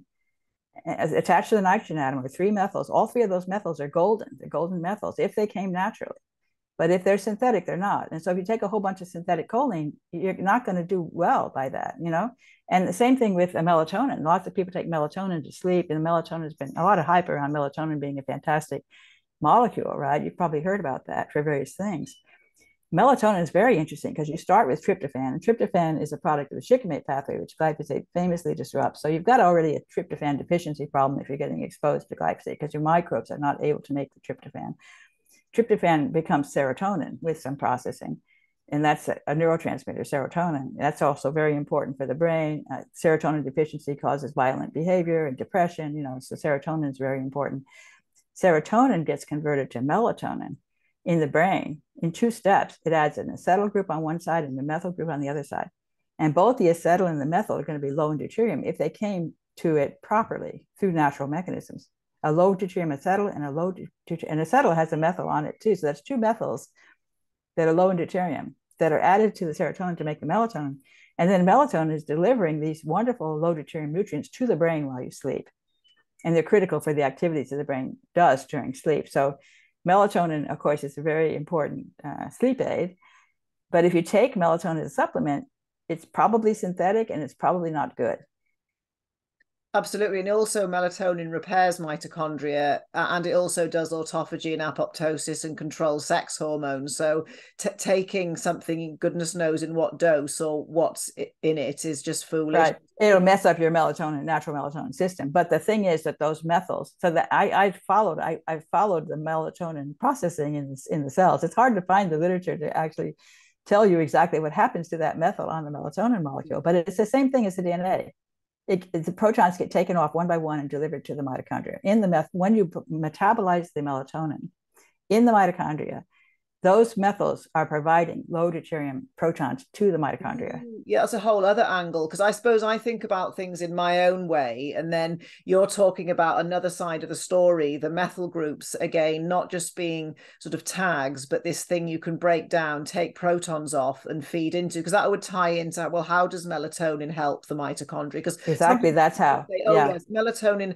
helps and repairs the mitochondria, but now you've said, well, this is a possible mechanism by which because exactly yeah more protons and if you've got more protons you've got more power to, uh, proton gradient uh, to, to make ATP. So it, like it's like no matter who I speak to, there's always uh, some person thinks, "Oh, I've solved it all," and then you come along with a whole fresh idea. But then now it gets me thinking about you know where are methyl groups, and I think exactly. It, and when you start to realize that, you see how the story just becomes so much clearer. You know, I always was so puzzled by reactions and i was aware of this like cholesterol there's a special escort protein that gets cholesterol inside the mitochondria and then mm. there's some enzymes that modify the cholesterol inside the mitochondria and then the modified cholesterol has to get out of the mitochondria and then some more things happen in the cytoplasm.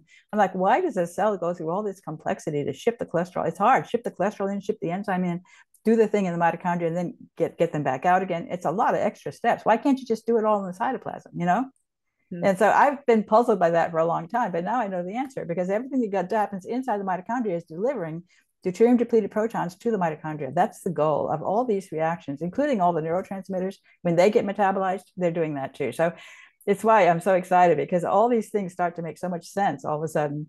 Even things that I was very puzzled about before, they start to make sense when you look at deuterium as the problem. What about um, using methyl groups to put on estrogen or toxins? Because why would the body waste such a precious uh, methyl group? Or, or is that just part of they have a, um, an amount of methyl groups allocated for removing toxins and then they have another set which yeah i don't know but that's a good point because methylation is one way to remove toxins sulfation is another one yeah you know, sort of attaching these things to the toxins to help to uh, often to help solubilize them so they can be excreted through the urine uh, it's a good question whether there's ever an opportunity to whether the kidneys might might grab that methyl before they mm. ship it out right? They could. Like it could be the methyl it comes in methylated to the kidneys and the kidneys are about to ditch it into the urine. And they say well let me grab that methyl first and then i'll let go of it. It's possible right? I don't That's know. I am just speaking off the top of my head. Yeah but the thing is it might have an opportunity to take that methyl and use it yeah, so back to the amino acids, because people like using amino acids as supplements. And you mentioned methionine being bad, but would you say that any amino acid made in a lab is a bad idea just from a deuterium perspective? And then back. I think so. Yes. I know glycine. Glycine has low deuterium and serine has low deuterium and methionine has low deuterium. I know this for a fact among those. And I haven't checked out all the others. I think that leucine, isoleucine would have low deuterium. I'm just in looking from how they're made. You have to kind of go back and look at how the how the microbes make these molecules. It's not easy, and you have to see what the sources are that went into making it, and um, and so and then if those sources can be traced back to the hydrogen gas, that's that's the game. There's a really big uh, effort in the gut to grab the hydrogen gas, make the methane. And I mentioned about the cows releasing all that methane and causing yeah, uh, yeah. global climate change. That's because the cows are poisoned by glyphosate. Normally, they would have released, I believe they would have released a lot less methane because the methane backs up because the enzymes aren't working. Those dehydrogenases are suppressed by glyphosate. I saw a paper on E. coli. They had a dozen different dehydrogenases that they found were suppressed by glyphosate. And I know why, because they have what I call a glyphosate susceptibility motif, which is a particular sequence in the amino acid sequence that has a glycine that's very susceptible to glyphosate substitution. And if you substitute it, you'll ruin that protein, won't be able to bind phosphate, which is a huge problem for these enzymes that are involved with deuterium management. So I think a lot of those enzymes are getting messed up by glyphosate. And then that's stalling the system. And so actually you get formaldehyde toxicity as well. You get methane gas getting in the cows, right? Methane gas gets released. And then the formaldehyde gets stalled too because the formaldehyde dehydrogenase is broken by glyphosate. Uh, th- that same study showed that a- an enzyme that detoxes formaldehyde, detoxifies formaldehyde by combining it to glutathione, and then there's an enzyme that can react to that glutathional formaldehyde to take it apart. That enzyme gets highly, highly upregulated in response to glyphosate in the E. coli bacteria. And that makes sense because the formaldehyde's piling up because the formaldehyde dehydrogenase is broken. And then that formaldehyde is, is a carcinogen, you know, it, it's nasty stuff. and, and the gut microbes make it, but they usually can break it down really fast because they have this very active enzyme that can clear it and they need to make it because that's part of this process of grabbing those protons to, to be uh, delivered to the mitochondria yeah so the thing is if it's really difficult biologically to make amino acids when people try and make them in a lab we're just going to take shortcuts and make deuterium loaded things by accident because like you keep saying and i completely agree biology inside us has set up all these intricate methods to keep the deuterium where it belongs and out of the mitochondria. And that kind of i like i think just for the last thing on the supplements what about supplements that not choline but say methylated b vitamins that people buy? Is that the same problem? You're buying a B- i suspect so. You have to go back and look at this patent for how to make it because I've, I've been trying to rummage through patents on the web to see exactly how they make these supplements. But I think most of these supplements are made in the chemistry lab because if you picture trying to, you know, like you grow some microbes in a culture, right? Like oh, say yes, E. coli. And then to have to harvest, uh, purify and harvest. There's, a, I mean, a lot of stuff in there you don't want to put in, right? You want to have a pure chemical glycine, for example. So you make the glycine in the chemistry lab, and that way you can really kind of control getting a concentrated supply of glycine without a whole bunch of other stuff in there. But if you have a biological system mm. that's making the glycine, now you've got a big problem with how to isolate the glycine. That's why I don't take any supplements. I don't take any of these supplements that are um, organic molecules. None. No, no, I um, stopped ages ago, and I think it's uh, kind of I'm interested. I suppose I was just thinking about methyl groups with the deuterium in them, whether they could actually end up on a DNA molecule, um, or whether the it'll get broken. Say if you took in an artificial methyl group with a deuterium, would our bodies or the gut bacteria break break it down and use it, or would the methyl group remain intact in some way? That's what I'm kind of asking. yeah, that's a good question to ask, and I've wondered about that myself. Like, is is the gut uh, are the gut microbiome smart enough to realize that this is not a good methyl? We don't want this one. Yeah. And therefore, let's just kind of dispose of it now before it gets into the host. Like I think they're very good at trying to keep their host healthy. They need a healthy host in order to live, right? So they care about that. But it's possible that they are able to distinguish the methyls um, that are good versus the ones that are bad. There's a what trimethylamine oxide. Have you heard of that? TMAO. Yes, yes. People have big about this on the internet a lot that's a complicated one, trimethylamine oxide. I have wondered whether that's a uh, basically a choline molecule that was uh, unable to get converted because the enzymes that uh, that do these reactions that pull those protons off, many of them have the ability to notice that it's deuterium and not take it. So if you picture trimethylamine oxide coming from choline, synthetic choline that has these three methyls, but they're all bad because they're not they haven't been made naturally. And so then the enzymes that would normally metabolize those methyls and disappear them are not willing to accept them because they've got deuterium. Mm. And then the trimethylamine oxide survives in the gut, trimethylamine, and then it gets oxidized in the liver. And then TMAO in the blood, I believe, is bad news, right? There's mm. there's evidence of harm from TMAO in the blood, and it may be an indicator of, of supplementing with choline that is uh, defective because it's synthetic. Yeah, that's that's really interesting because always with people, and I've done it. You know, you do stupid things in the past, and as long as uh, it's more about if people stop doing something, they'll just get better because people are probably thinking, oh no, I've taken loads of supplements.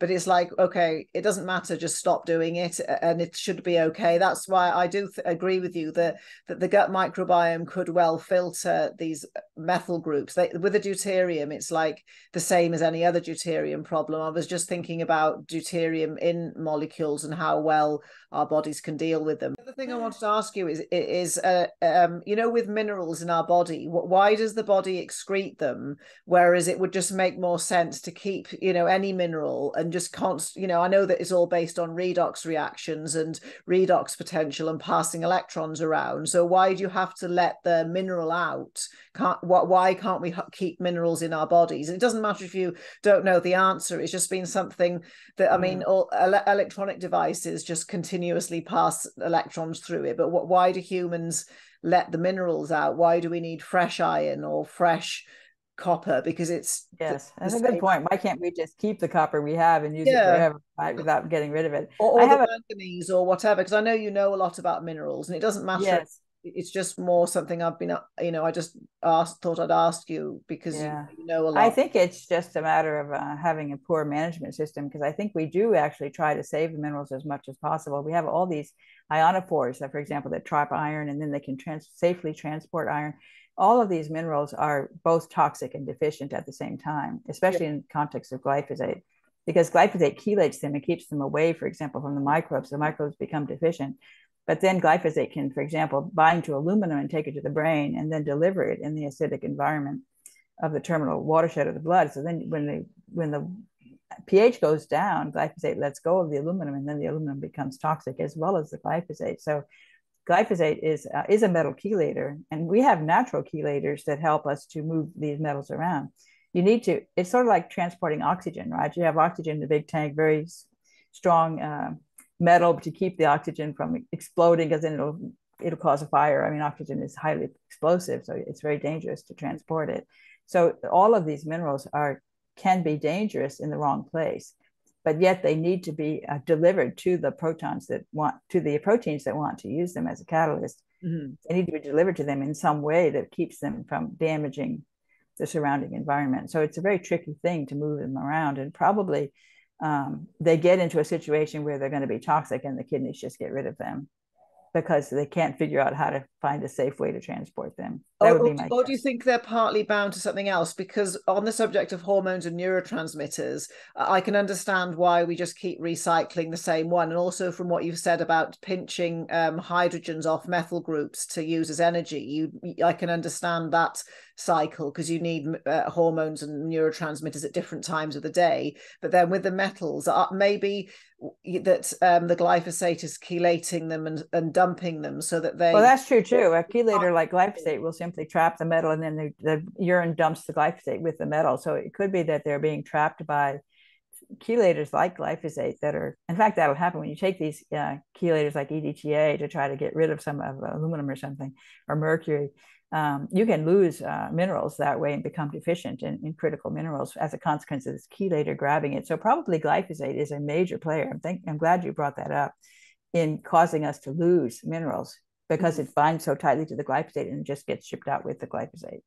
Because that's right. With our ancestors, and you know, though we had food was less abundant, uh, and they managed. Yet nowadays we've got access yeah. to supplements, and people I know take so much of all these minerals, and they still either the body rejects them all, or they still present with mineral imbalances. Yet our ancestors had, you know, yes, yeah, I that's agree that point. we've got less sort of magnesium in the soil and such like, but it just seems to me where's it going and why is the body chucking out minerals and then letting the person become deficient but i think what you've said about the glyphosate participating in this that would make sense as well. That would uh, for sure yeah. And of course um, there's also issues of absorption across the gut. So lots of times it just comes in and goes out without ever getting out of the gut uh, because of absorption absorption issues. Yeah that's a bit like the vitamin b12 problem the, the cobalamin that there's something wrong with the gut like it's too slippery everything seems to be just going through. That's interesting yeah that's a good point. Yeah, yeah, kind of yeah yeah that, that yes. So so anyway like we've gone longer than than than, than it's I, I can't believe we've gone for uh, almost two hours. I know like I, had, I had a bit minutes. of time dilation because because obviously i want i need to go to bed but then i got so where are you? Oh i'm, I'm in the uk okay that's what i thought yeah. I actually so live like... um five Nine, uh, almost 10 o'clock right? Yeah almost yeah i live about yeah. five minutes away from glyn wainwright so oh that's so fun that's right i had forgotten that that's wonderful say hi to him for me he and i had a well, lot of a lot of fun working together. Yes i know because he's got a i know you and him did some work on sulfate together and also he did. he did an amazing interview with me years ago on cholesterol which i'm going to re-upload because you know how some videos are timeless? Yes Yes, I think so. Really He's is. great. He and I gave a uh, talk. We, we were both at, gave talks at Weston Price Foundation together, side by side. Worked out really nice. He did a great job. He, he's yeah. a great ad- advocate for the same things that I talk about. So that's wonderful. And also, he it's I will because people now have mentioned it, upload his video because he's like done the presentation that many times. It, it's really slick um, and he talks about the postal systems. But I think it's a really good route in for people who are new to yes. all because this is like a really high level podcast. And not not that it's you know not accessible to everybody, but I think you know, and sometimes people need to say, "Well, that was interesting. Where can I find the beginning of this story?" I know that's true. It's hard to jump into the middle because there's so much stuff and it, it's so uh, complicated yeah and we still i don't understand all of it either. I have many questions that i'm still trying to answer so. What about deuterium? Because i'm always i'm really interested in the light show and deuterium and because uh, it's in the cerebral spinal fluid as well uh, and if you if you squash it it can produce light. And also the the way red light and blue light influence deuterium mm-hmm. behavior. But what you said about the structured water or the gel water because that obviously structures better in the presence of infrared and red light. That would make mm-hmm. sense of how That's right it, it, it pulls the deuterium in so it can't go where it shouldn't. So that's in my brain i can understand because i don't if someone just tells me oh blue light makes deuterium go in and red makes it not bad you need i, I want to know well why? I, I don't know i know. if you know why you can remember it better right yeah i find that too. yeah i just don't accept just anymore but i think what you just said about what you were talking a lot about with the so people can um, be reminded about the the gel water and how the deuterium belongs in there because it stiffens it within reason. And again red lights and you know sunlight and saunas and heat help with the deuterium be you know behaving properly so that's kind of answered my question about the red light and the deuterium because i've been puzzling about it how, now how does the blue light make it, it, the problem worse i'll have to look into that myself but mm-hmm. I, I, really appreciate everything you've said today because you've kind of um given given like sort of eureka moments or you know when you know when yeah. you're trying to work something out and somebody else will bring a piece to the table and it's like aha I, I get it. Right that's what's been fun for me with all these great people that i'm working with is they're all very smart and they're all looking at different uh, things different ways. And so they'll they'll put something in there like oh wow i didn't think of that. Yeah. oh what's the implication of that? I got to go read some papers. You know it's just like you get all excited. I, it's really been a thrill ride a thrill ride for me Oh yeah, definitely. Because um, for people listening, you've got more books, haven't you? Because you the Toxic Legacy is the big read, but then there's the book on autism. But is is there a third yes. book?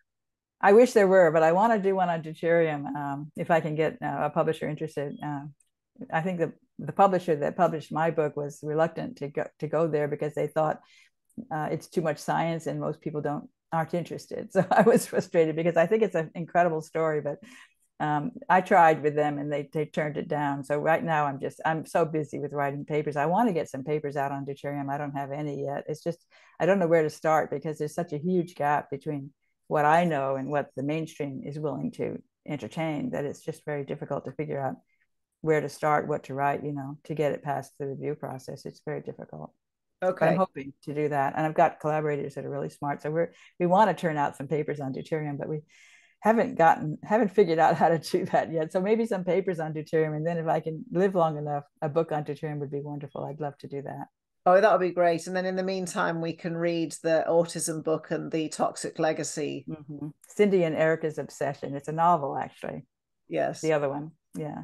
Oh no, so no, people should support you with you uh, because you you give so much by sharing information because lots of scientists just don't they just live in another planet whereas you come out and do podcasts and share it all and i think like we've talked about before sharing information is so important and finding sort of top scientists like yourself that do share because i can't imagine my phd supervisor ever agreeing to come on my youtube or anybody's youtube yeah. channel ever. i mean a lot yeah a lot of people want to hold the idea to themselves and i'm absolutely free to tell anybody anything that i know uh, because I, I want the ideas to get out there. I don't care about the personal glory that I might get by being the one who, you know, let somebody else steal it and run with it. I'd be very happy. Yeah, I, I think it's also some, you're very good at explaining things that we can understand. Whereas some scientists, I just think they wouldn't be able to do a podcast because it would be too difficult for the general. I'm glad you said that about me. I fear that I'm often in that boat as well, that I'm kind of talking over people's heads, assuming they know too much. But people will slowly i think if people get interested then they're willing to start learning and you can certainly learn. You don't need a teacher. Just get on the web and start reading papers. It's it, to me it feels like something you can do if you're motivated enough you know you can self-educate on these oh, things. oh definitely. And I, and I think even if somebody gets like um 10 points or 5 points out of this. Even just there's glyphosate in processed food not just plants or just any one thing it can be sort of really helpful. And somebody might never have heard of glyphosate. So you know it's it's always worth um kind of bringing up the subject again and again. Otherwise if we don't talk about it then they get away with the glyphosate. So you know the more people that hear the word over and over the the better. Yes i think so Okay. Well, anyway, well, thank you so much for your time. Much. And really enjoyed. It was a great conversation. I really enjoyed it. And thank, thank you for being willing to get into some of the deep science. It's, it's great. Thank you very much for watching. I've just started a new Substack and this is where I'll put all of my long form content on quantum biology, and there are posts already there. The links are in the description. I just want to thank my sponsor, Litewater, again one more time, because it's been a massive help for me uh, to be able to make this channel better for you and to get more guests and to make more content. So there's a lot more coming your way very soon. Thank you. Goodbye.